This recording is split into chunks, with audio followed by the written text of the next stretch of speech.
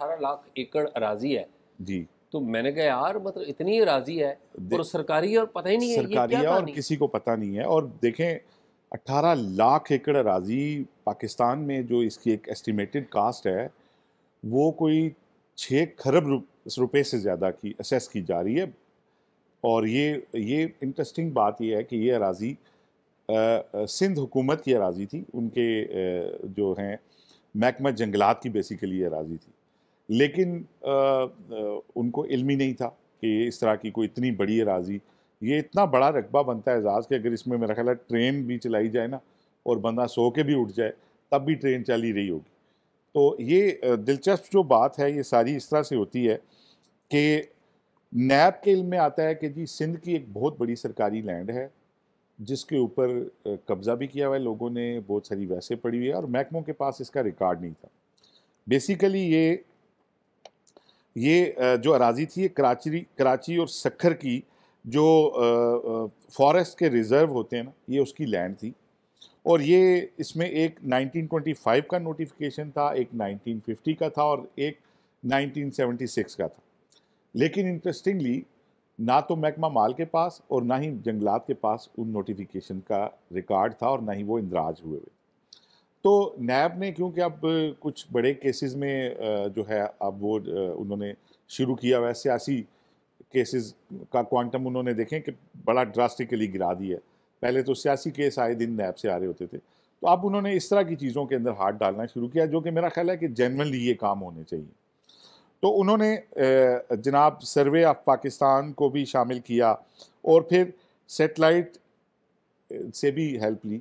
और सेटेलाइट से जब डिमार्केशन इसकी करवाई, उस, उसके बाद लाइनिंग करवाई और उसके बाद जाके कब्ज़ा लेने की बारी तो पता चला इसके ऊपर तो बहुत सारे काबजीन हैं।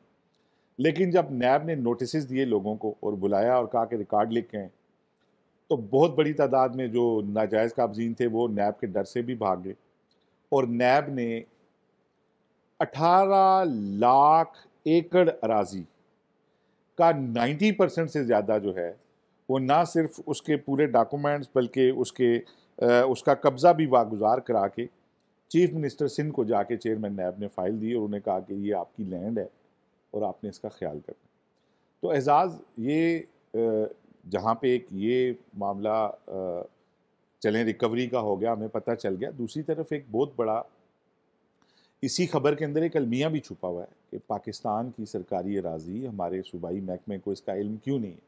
सिंध हुकूमत पे, इससे पहले भी वहाँ पे जो जो बहरिया टाउन को राज़ी दी गई थी, उसके ऊपर भी सुप्रीम कोर्ट का फैसला आया कि वहाँ पे भी जो अराजी दी गई थी, उसके अंदर भी नॉर्मलीज थी और उसके बदले आपको पता है कि बहुत बड़ी एक प्लेंटी भी डाली थी उस वक्त की जो साकिब निसार थे उन्होंने। तो ये एक बड़ा जहाँ नैब की अचीवमेंट है, वहाँ पे हमें अपने सिस्टम्स को और अपने इदारों को जो है, वो उनकी एफिशिएंसी के ऊपर ये बहुत बड़ा सवालिया निशान है। इसी तरह एजाज आपको पता होगा कि नैब ने जो आज का ये खबरें आई हैं कि 168.5 बिलियन रुपीस जो हैं वो के पी हुकूमत के बचाए हैं। तो इसके अंदर दूसरी बड़ी स्टोरी ये है कि क्या के पी हुकूमत को नहीं पता कि हमारे इतने पैसे जा रहे हैं?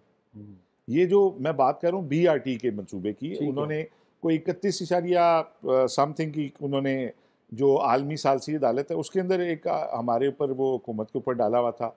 कि हमें दिए जाए। पेनल्टी हाँ। एक वो मांग रहे थे कोई एटी सिक्स बिलियन हमारे से वो कोई हरजाना मांग रही थी कंपनी इसके अलावा जनाब अली उन्होंने कोई अ, सूद की अदायगी पाँच अरब सूद दर सूद जिसको कहते हैं ना जो कि वैसे ख़त्म हो चुका हुआ है कंपाउंड इंटरेस्ट जिसको कहते हैं।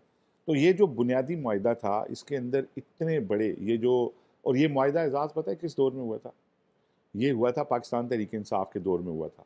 और वज़ी अला के पी जो थे वो परवेज़ खटक थे और इमरान खान साहब की सूबाई हुकूमत ने ये माहा उस वक्त किया था जबकि मरकज़ में वो करप्शन के ख़िलाफ़ तरीक़ें चला रहे थे और धरने दे रहे थे कि जहाँ पे जो है हुक्मरान करप्ट हैं। नहीं और ये- वो ये उस वक्त भी हुआ होगा ना जब इमरान खान साहब तो मुखालफत करते आए हैं ना? ये जो अ, ये जो इसको तो बस मतलब सर्विस उनके जंगला बस। इलाही साहब जंगला कहते थे और वो कह इसको खुद इमरान खान भी बल्कि आपको याद होगा उमर अयूब साहब ने कहा था कि ये तो चार अरब में पिंडी वाली बन जा, जानी चाहिए थी। तो परवेज़ रशीद जो थे उन्होंने कहा था आप आठ अरब में बना दें तो आप हम आपसे शर्त हार जाएँगे जो पैंतालीस अरब में बनी थी। ठीक बात। लेकिन बीआरटी में अब अब आप देखें कि इसमें सिर्फ़ कुछ चीज़ें सामने इसलिए लानी ज़रूरी हैं कि सरकारी इदारों को और इनको मतलब क्या कोई पूछने वाला नहीं है। आप ये देखें कि एक कंपाउंड इंटरेस्ट की शिक उसमें डाली गई। उसमें एग्रीमेंट में कोई ऐसी शिक नहीं लिखी हुई जो हुकूमत की फेवर में हो। तमाम शिकें ऐसी लिखी हुई हैं कि कोई किसी किस्म का अगर कोई तनाज़ा होगा तो वो सारी बातें पे जो हैं वो फ़ायदे में जाती हैं कंट्रैक्टर के। फिर एजाज़ किसी दस्तावेज़ की तस्दीक नहीं की गई जो इस कंपनी की तरफ़ से दी गई थी। इसी तरह आ, आ, आ, ये जो कंपनी थी ये ब्लैक लिस्ट थी पंजाब से ब्लैक लिस्ट थी और इसको फिर वहाँ पे इतना बड़ा ठेका दे दिया गया। लेकिन जब नैब ने ये सारी चीज़ें टेकअप की कंपनी से और उन्होंने कहा कि आप जब ये सारा कुछ कर रहे करेंगे तो हम आपके ख़िलाफ़ ये भी कार्रवाई करेंगे कि आपने यहाँ यहाँ यहाँ पे तो दो नंबरी की है और ये माहे की फ़लाँ फ़लाँ फ़लाँ फ़लाँ शिकें आपने पूरी नहीं की हैं। तो उस पर कंपनी जो एक सौ अड़सठ इशारिया पाँच अरब रुपए की दावेदार थी इंटरनेशनल फोरम पे भी लोकल पे भी, उस सारे में फिर नैब ने कुछ पाँच अरब रुपए की जो सूद की अदायगी और नौ अरब रुपए उनकी ख़रीदारियों में, वो भी कम करा के कुल एक सौ अठासठ इशरिया पाँच अरब रुपए जो कि के पी हुकूमत देने की पोजीशन में भी नहीं थी, उनके अपने फाइनेंशियल हालात नहीं हैं। तो ये उन्होंने मामला जो है इसको सेटल कर दिया टोटल ढाई अरब रुपए में। तो एजाज़, इसमें भी एक बहुत बड़ा सवाल है कि नैब ने तो ये सेटल करा दिया, लेकिन क्या के पी की हुकूमत ने उस वक्त जिन्होंने ये माहा किया था, उनको इन सारे बातों का इल्म नहीं था? और क्यों कौमी ख़जाने के इतने बड़े पैसे जो इससे पहले भरे गए, वो भी आपको पता है मनसूबा उसमें कितनी चेंजिंग्स हुई और किस तरीके से हुआ? मेरा ख्याल है ये केस स्टडी होने चाहिए और आइंदा के लिए हमें जब कोई माहे करने हो तो हमें इन चीज़ों को हमारी सूबाई हुकूमतों को फेडरल हुकूमत को इन चीज़ों को सामने रखना चाहिए। कोई शक नहीं जी। जो बात आप तो कह रहे एजाज ये तो थी कि नैब ने दो बड़ी रिकवरियाँ की हैं और बिल वास्ता कौम को बहुत बड़ा फ़ायदा भी हुआ है एक डायरेक्ट फ़ायदा भी हुआ है जो लैंड रिकवर की है। लेकिन